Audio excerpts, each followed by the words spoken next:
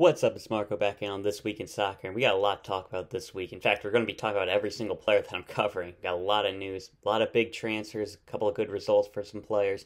Man, you're starting out with the first thing. Josh Sargent secured a big move to Norwich City, and man, this is a huge move for Josh Sargent. I mean, this is a honestly a pretty good situation that he's being put into. I know that Norwich are a team in a relegation battle, but in terms of competition, he only has a Pukki, who's a solid player, but nothing special. Idah, who's a youngster, Hugill, championship level player, and there's going to be opportunities for him to start, especially with him being able to play on play on the wing. And there are a lot of good creative players behind him too. Uh, Todd Cantwell, Rashica, his former teammate, and uh, Billy Gilmour on loan for Chelsea. There's going to be a lot of opportunities for success. It's just Josh Hart is going to need to score goals, and that is the one criticism that we really have for him. He's a great worker. He presses really well, which will fit well in that uh, Farke system. But he's going to need to score goals for Norwich if they want to stay up. And right now, he's at the point where he could be turn out like Jozy Altidore, go to a you know mediocre Premier League team and kind of flounder, or he could take that step up, become a great player, and secure that number nine shirt for years to come. And and I'm really rooting for Josh Sargent, and I feel like this is a great move for him. And Norwich City, they're going to be fun to watch too. I mean, they are a team that just got promoted, but they play attacking, and it's just no Norwich City historically. They're going to be losing 6 2 a lot of games, so it could be fun to watch. Uh, next news is uh, Chris Richards. According to uh, Bavarian Football Works, Leicester City are kind of interested in signing him. This is due to uh, Fofana's injury, and Jonny Evans is also hurt. Uh, Stu Horton is screaming in excitement somewhere.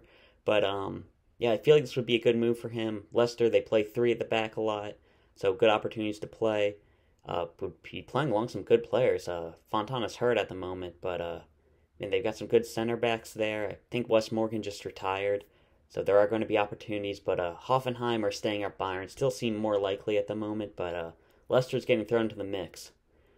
Uh, next, this is a uh, Star reports that uh, West Brom are interested in Daryl Dike, and uh, yeah, it could be a good move. I mean, championship, they're a team that looks like they could easily get promoted, so I feel like that would be a good move, but uh, also he hasn't played since the Gold Cup, which I think confirms his injury. But I mean, would be a decent move for Dike, but I don't feel like that's going to be happening anytime soon. Uh, definitely wait before the end of the season before we really start getting interested in transfers. Next, Owen Otasowie. According to Tribal Football, well, Wolves are willing to sell him after he declined that contract, and Club Bruges has submitted a bid for him, uh, four million pounds. Yeah, Belgium would be a good place for him to develop because he's someone he only started playing uh, soccer like a couple years ago.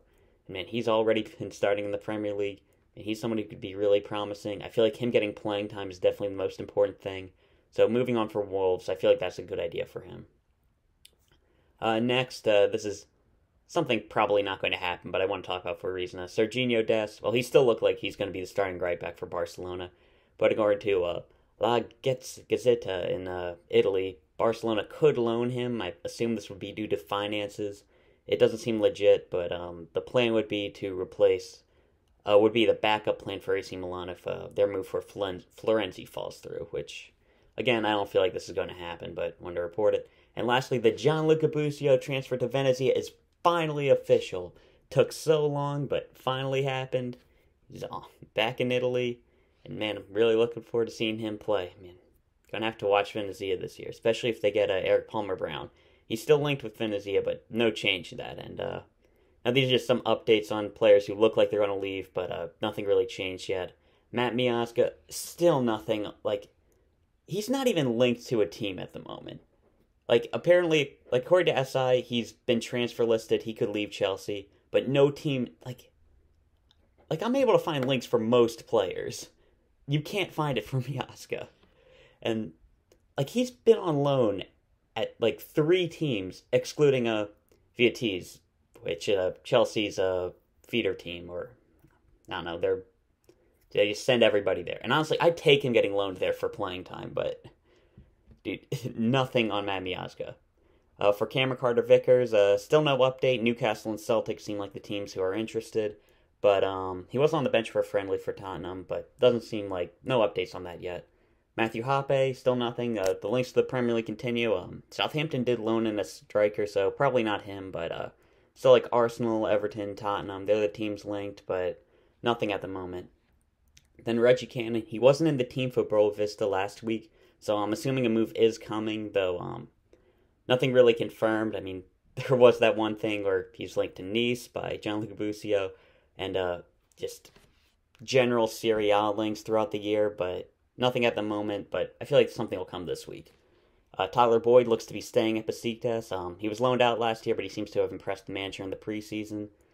Uh, Antonee Robinson, he started for Fulham this week. Uh, not the greatest performance, but first game of the year, so is what it is. Uh, no updates on his transfer, and the more nothing happens, the more likely it is he stays at Fulham. Obviously, uh, Man City, Wolves, Bordeaux, they've all been linked in the past, but not sure about that at the moment. And uh, Tim Ream, he was starting again for Fulham, so uh, something to remember. I mean, he's a championship level player, but just remember, it's a good thing that we don't want him in the team because he's a solid player. He's led Fulham to promotion two times already, so just keep that in mind. Okay, next, uh, just a quick injury updates. Uh, Bill Hamid, he's going to be out for five to six weeks, uh, which would take him out of World Cup qualifiers, though I don't think he'd be involved. Uh, Yunus Musah's injury will keep him out of World Cup qualifying. That's pretty disappointing. Uh, Aaron Long and Jordan Morris are both still out long term no uh, timetable on their return. And uh, Richie Ledezma was seen walking without crutches. He's still not uh, going to be returning anytime soon, but that's definitely a good sign. I'm really looking forward to seeing Richie Ledezma again. Now on to guys who just finally got to guys who are playing. So playing time, stuff about where their position's going to be, and how they actually did this week. And starting off, we had the best performance of the week's got to be Konrad De La Fuente in his debut for Marseille. Great performance by him. He's looking dangerous all game, making a ton of chances, uh, create a goal that was rolled offside, and and he looked great. He was named into uh, Ligue 1 uh, Team of the Week.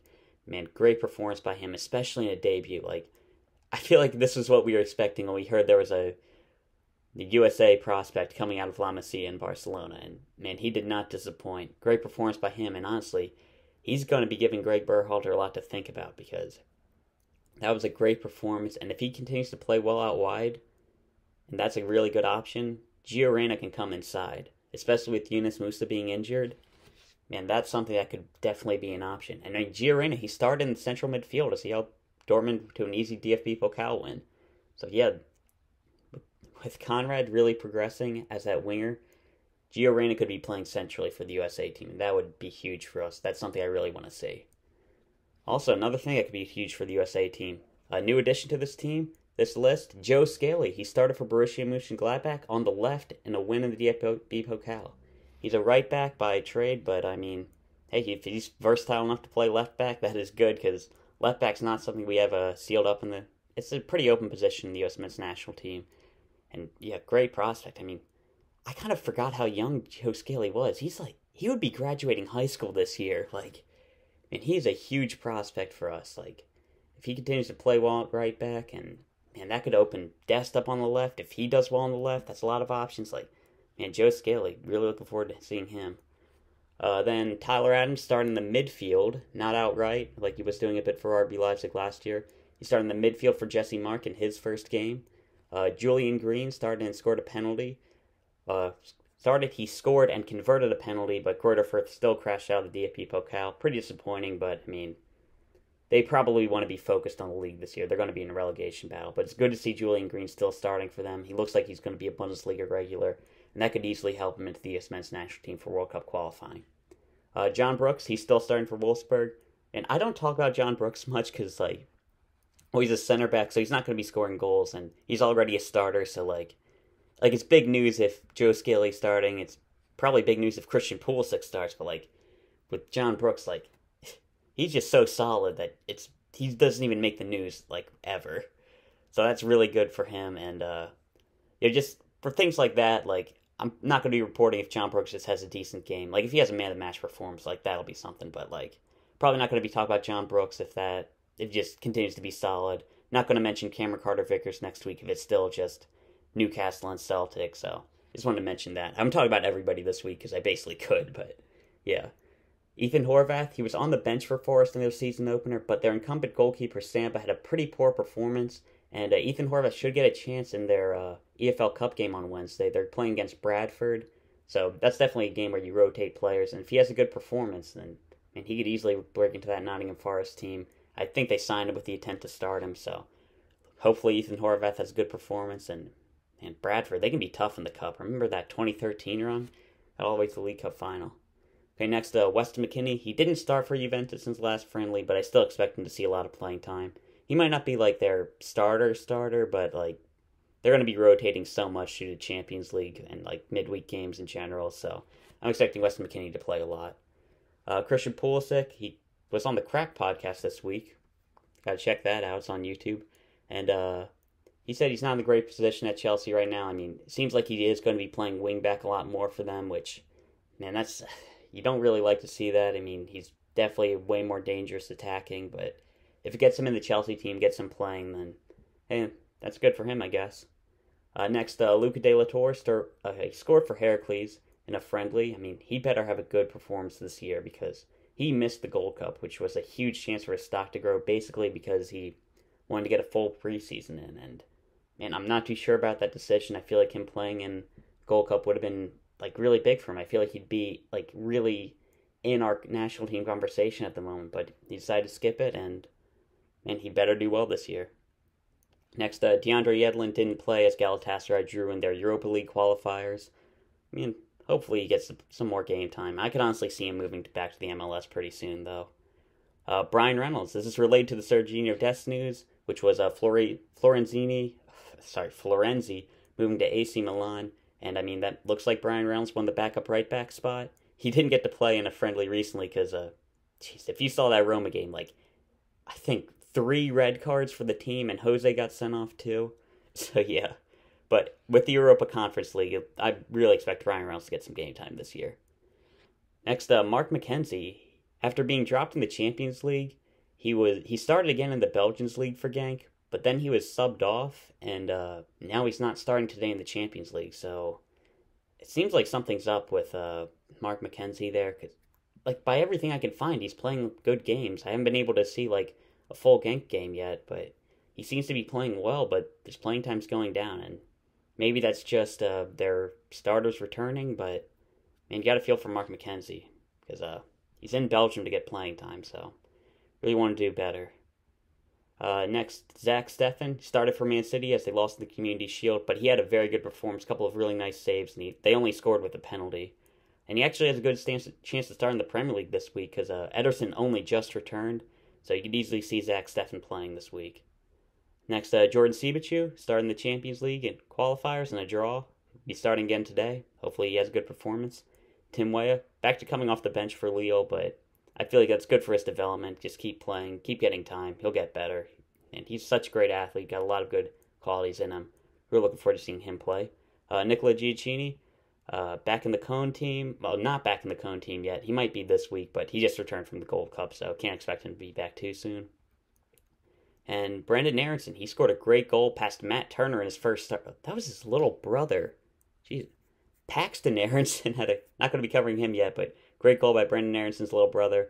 And uh, Brenden Aaronson continuing to play well. He scored in a friendly against Barcelona, and he's continuing to start in the Bundesliga, in the Austrian Bundesliga, so great job by him. Now over to the MLS. George Bello, he had a really nice assist in the Atlanta win. He's been playing well. Hopefully, he can just continue to get playing time, continue to develop. Uh, Caden Clark, not much on him this week, but I was looking at uh, Red Bull, and he's been playing in a lot of different positions for him, playing deep, playing further forward, even been out wide for a little bit. But, uh, well, they're not really playing with wingers at the moment. But uh, good to see the versatility out of Caden Clark. Uh, Justin Che, his playing time's decreased a bit for FC Dallas. He's still expected to move on, but um, yeah, something to uh, take note of. I think he's just their right backs are coming back. He was being played out of position anyway. Sebastian Lletget back in the LA Galaxy team.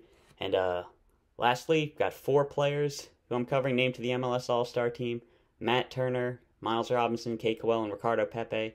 Great to see all of them. All really good prospects. You really hope to see in the national team.